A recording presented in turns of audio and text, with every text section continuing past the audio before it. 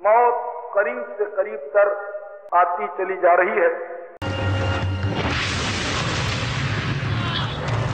इस दुनिया में जो जवान है, वो जल्द ही बूढ़ा हो जाएगा।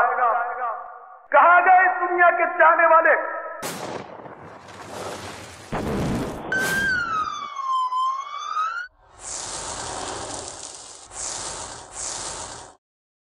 जब मौत का वो शिकार हुए तो मिट्टी ने उनके जिस्मों का क्या हाल कर दिया।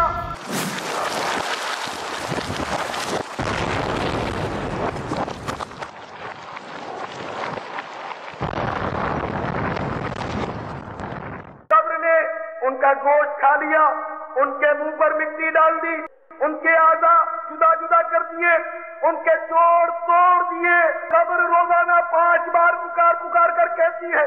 ऐ इंसान, आज तू मेरी पीठ पर खूब गुना कर रहा है, लेकिन ये मत भूल के कल मेरे अंदर जब आएगा तो तुझे इसका अजाब उठाना पड़ेगा।